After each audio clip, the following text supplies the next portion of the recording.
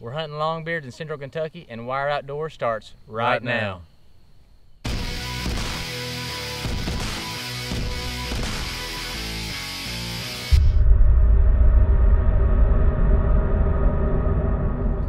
Hello and welcome to Wired Outdoors. Have a great show for you with some familiar faces in Kentucky with field staffer Jordan Kelsey going after a late season Kentucky longbeard. So let's get right to the hunt. Hey guys, it's opening day of turkey season here in Kentucky, and uh, been on birds this morning. Didn't quite get the job done, so me and my buddy Dustin are back out here on this farm. We know there's birds roosting back here on this big ridge, so we're just gonna go out here and set some decoys out, call a little bit, and we'll see if we can drag a big one in. Hopefully, we can get it done tonight.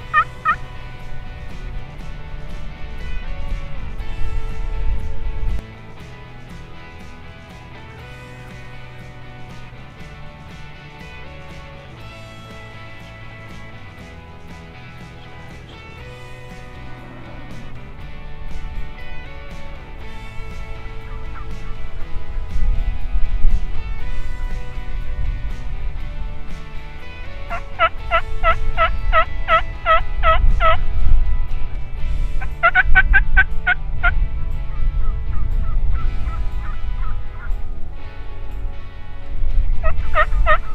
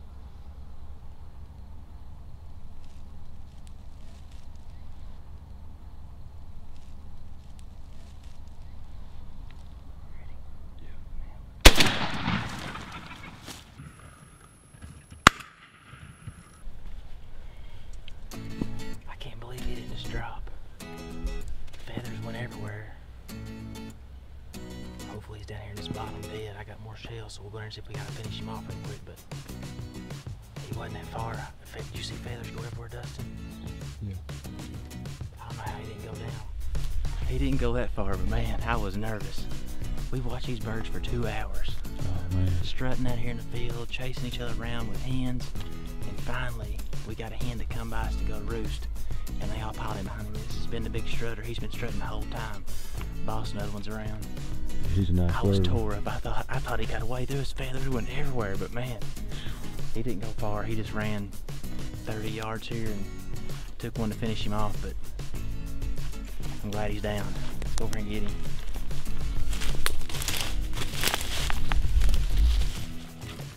This is the big strutter. He's got a nice beard on him. Big old pretty head. Look at that red, white, and blue. Only in America. Guys, this bird had me nervous there at the end, but it was an awesome hunt. Me and Dustin snuck up here to this field and uh, poked some decoys decoys out. No birds out here when we first got here, but within 10 minutes, well, maybe 15, 20 minutes, there was some hens worked out in the field, and uh, Dustin heard a gobble over here to the right.